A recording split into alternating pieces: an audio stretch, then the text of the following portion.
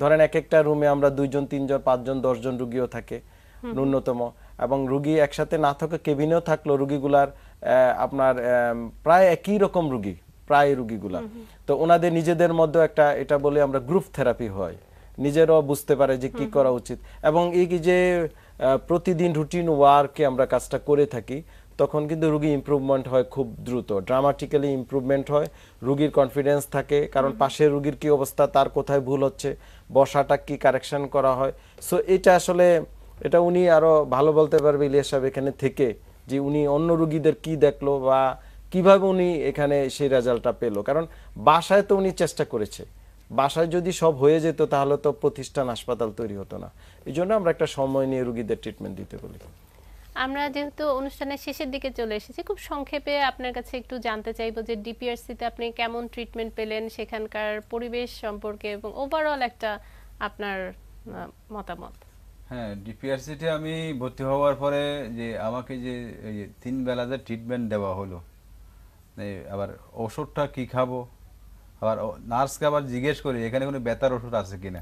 Nurse আমাকে না বলছে। না এটা শুধু নার্ভের কাজ করবে এই ধরনের ওষুধ আছে কোনো স্যার কোনো ব্যথার ওষুধ লেখে না দেয় না। আর এটা নার্ভের কাজ করবে আপনার যে এক্সারসাইজের মাধ্যমে ইনশাল্লাহ আপনি সুস্থ হয়ে যাবেন।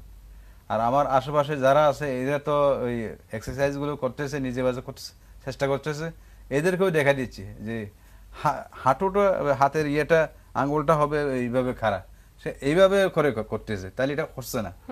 সেগুলো আমি হেল্প করছি দেখা দিছি। আচ্ছা আপনি নিজেও শিখেছেন এবং পাশাপাশি এখন অন্যকেও মানে দেখিয়ে উৎসাহ সাহস দিচ্ছেন। যে একটু সময়ের অপেক্ষা ইনশাল্লাহ ইনশাল্লাহ সুস্থ তার মানে আপনার আশেপাশে যারা এই ধরনের। সমস্যায় ভুগছেন তাদেরকেও আপনি অন্তত কোথায় যেতে হবে কীভাবে ট্রিটমেন্টটা। পাবে সেটা অ্যাটলিস্ট আপনি বলতে পারবেন। বুঝাই দিয়েছি বলছি সেটা। তবে আল্লাহর কাছে শুকরিয়া আদায় করি যে স্যারের যেন হায়াত দ্বারা ইনশাল্লাহ কামনা করতেছি।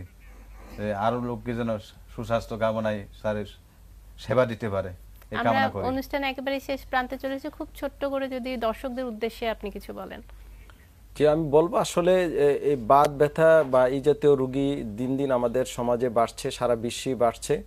আপনারা আহ, মানে ট্রিটমেন্ট মানে চিকিৎসা দেওয়ার চেয়ে প্রতিরোধটাই হচ্ছে উত্তম এবং এই উত্তমের জন্য আপনাদের সবাইকে একটু আহ, সচেতন হতে হবে। আমাদের এই জাতীয় প্রোগ্রাম বা আমরা ডাক্তার সাহেবরা যে সকল ব্যথা, বেদনা বা স্ট্রোক জনিত প্যারালাইসিস বা যে কোনো ডিজিজ ডিসঅর্ডার ডিসেবিলিটি কীভাবে আমরা সুস্থ থাকতে পারি, ওই দিকে একটু মনোযোগ দেওয়া দরকার সবার।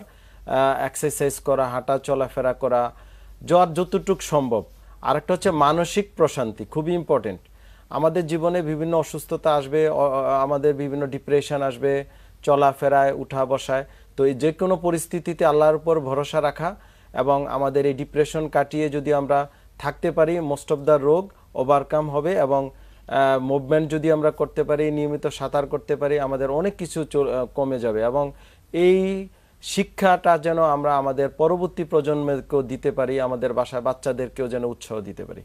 আরেকটি বিষয় অনেকে জানতে চায় যে ডিপিআরসি কোথায় কীভাবে তারা এখানে সেবাটা পেতে পারে কীভাবে যাবে বা যোগাযোগ করবে কীভাবে? জি ধন্যবাদ। আমাকেও বিভিন্ন আমাদের ফেসবুক বা ইয়াতে ঠিকানা জানতে চায়। একটু সবার উদ্দেশ্যে বলি ডিপিআরসি হসপিটালটা হচ্ছে শ্যামলী মানে শ্যামলী যে ঢাকা শ্যামলীর রিং রোড আর আইএনজি যে রিং রোড। অনেকে আবার লিঙ্ক রোড মনে করে। লিঙ্ক রোড হচ্ছে বাড্ডার দিকে।